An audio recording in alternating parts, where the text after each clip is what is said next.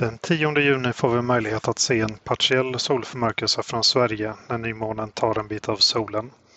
Senast vi kunde se en solförmörkelse härifrån var i mars 2015 för sex år sedan. Solförmörkelsen börjar, sett från Malmö, klockan 11.33. Den når maximum 12.41 och slutar 13.51. Tiderna kan avvika med några minuter beroende på var i Sverige man befinner sig. Från vissa delar av Kanada, Grönland och Ryssland kan man se en ringformig solförmörkelse, men sett från Sverige kommer månen att endast täcka ungefär 32 procent av solens diameter här i Skåne och ungefär 55 procent i Kiruna. Här får du fyra tips till att få ut det bästa ur solförmörkelsen här i Sverige. Du behöver ha solförmörkelseglasögon och solfilter till din kamera och till din kikare för att kunna se förmörkelsen. Och det är inte bara för att skydda ögonen, även om det är väldigt viktigt i sig, men vid en partiell solförmörkelse bländar resten av solen fortfarande så mycket att det är omöjligt att se den utan solfilter. Håll ett öga på skuggorna från blad och grenar.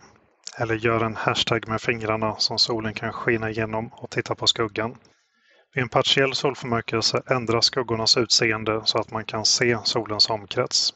Det är en rätt rolig effekt och en speciell upplevelse, särskilt eh, när mer än hälften av solen är förmörkad. Men man kan lätt förbise det om man är för upptagen att titta mot solen. Ha koll på väderprognosen i förväg. Solförmörkelsen dröjer nästan två och en halv timme, så även om det är halvmolnigt finns det en chans att få en glimt av fenomenet. Om prognosen lokalt hotar med moln finns det kanske en bättre prognos för andra ställen. Ett medeltjockt molntäcke kan även fungera som ett sorts solfilter där man kan skymta förmörkelsen genom molnen. Men var väldigt försiktig för molnen kan snabbt flytta sig och utsätta ögat för direkt solljus. Och dessutom blockerar molnen inte det ultravioletta ljuset särskilt bra. Om ett tjockt molntäcke gör det omöjligt att se solen finns det andra möjligheter att följa med i solförmörkelsen. Händelsen kommer att livesändas från flera olika ställen på jorden då får man också möjlighet att se den ringformiga förmörkelsen även om man inte är i den zonen själv.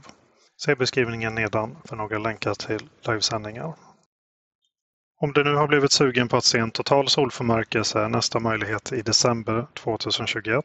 Men det innebär en längre resa eftersom den här förmörkelsen endast är synlig från Antarktis. Om man vill stanna i Sverige kräver det i gengäld ganska mycket tålamod. Nästa totala solförmörkelse i Sverige äger rum 2126. Men om man är redo att resa en kort bit inom Europa finns det bättre möjligheter. Den 12 augusti 2026, det vill säga om bara fem år, har vi en total solförmörkelse som kan ses i Spanien. Fem år är inte lång tid i solförmörkelseperspektiv, så ring in datumet i din kalender redan nu om du tycker att det låter intressant.